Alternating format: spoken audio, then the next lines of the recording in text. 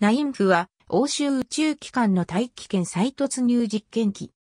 2015年2月11日にベガロケットによって打ち上げられ、弾道飛行によって低軌道からの地球帰還をシミュレートする飛行試験を実施し、洋上での機体回収にも成功した。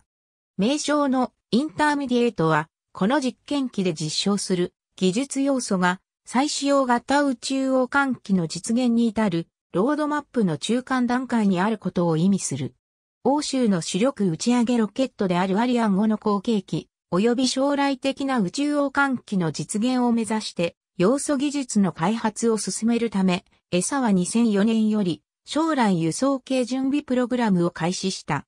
ナインフはその一環として、フランス国立宇宙研究センターのプレ X など、過去の研究を引き継ぎ、再使用型宇宙王冠機に必要な大気圏、突入時の熱保護と空力制御技術を確立するためデータ収集を行う。ナインフ再突入体は重量2トンの無人機で外寸は全長5メートル、全幅2.2メートル、全高1.5メートル。翼の内容高比0.7のリフティングボディの機体後部に姿勢制御に使用する2枚のボディフラップと水力、400N のスラスター4機を持つ。機体先端と仮面は、マッハ20を超える大気圏突入時の空力加熱にさらされるため、1、摂氏900度の高温に耐える耐熱繊維強化セラミック複合材で被覆される。ナインフの初期設計は NGL プライム SPA によって行われた。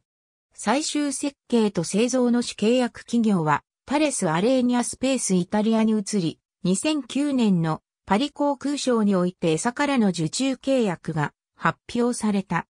セラミック複合材を使用した耐熱シールドとボディフラップの製作はドイツの MT エアロスペース社が担当する。2012年6月23日、アメリカ合衆国アリゾナ州のユマ実験場にて、輸送機で高度5700メートルからナインフのプロトタイプを空中投下するパラシュート降下テストが行われた。さらに2013年6月19日には、サルディニア島東方の地中海、上空3000メートルから原寸大プロトタイプを投下する着水テストが実施された。ナインフは、ベガロケットによってギアナ宇宙センターから打ち上げられ、高度 412km に達する弾道飛行を行って地球を半周した後飛行速度秒速 7.5km、再突入角度1.19度で大気圏に再突入する。